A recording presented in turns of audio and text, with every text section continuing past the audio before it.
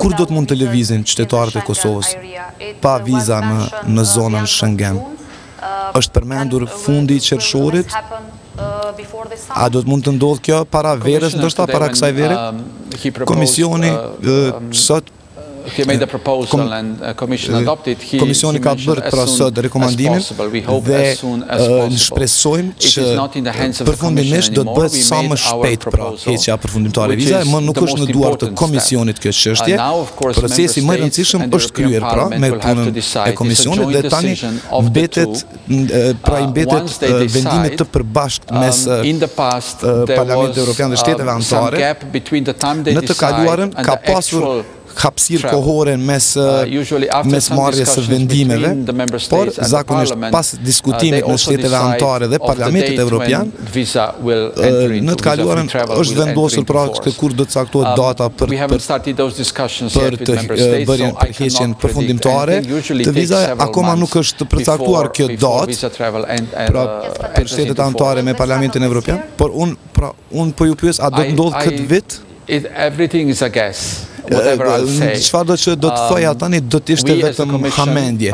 Nuk mund të them me siguri. Komisioni ka dhënë propozimin, ne duam sa më parë që të jetë e mundur të ndodhë kjo.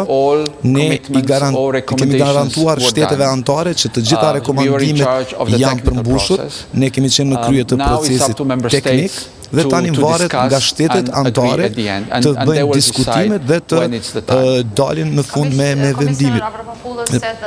Komisioneri Avramopoulos ka thënë që Kosova duhet të përmbyllë marrëveshjet që kanë të bëjnë me përcaktimin e vijës kufitare me Malin e Zi dhe luftimin e krimit të organizuar dhe korrupsionit. A mendoni që kjo mund të ndodhë shpejt? Kur kemi dhënë raportin tonë, kemi thënë që të gjitha janë bërë, por janë dy çështje që ne do të vazhdojmë t'i monitorojmë. Një është regjistri apo ecuria e luftimit të krimit, mendoj që është um, një gjë shumë me rëndësi për Kosovën në përgjithësi. Mendoj që janë bërë uh, disa hapa gjigantë në muajt e kaluar, kemi parë progres, kemi parë përkushtim, por ne duam të vazhdojmë të uh, mbikëqyrim uh, këto dy përkushtime. Përderisa të hyjë në um, fuqi uh, liberalizimi i vizave përfundimisht. Sa i përket marrëveshjes me uh, Malin e Zi, është nënshkruar marrëveshja, por ajo duhet të uh, ratifikohet. Dhe ajo që kemi thënë në fakt në dhjetor, kemi thënë që ne presim që um, marrëveshja të ratifikohet para se të hyjë në fuqi marrëveshja për udhëtim të lirshëm pa viza. Pra Kosova ka ka akoma uh, kohë, ca muaj për, për ta përfunduar këtë, por ne do të kërto, ne do të kërkojmë pra që kjo të ratifikohet para para uh, hyrjes në fuqi të vizave.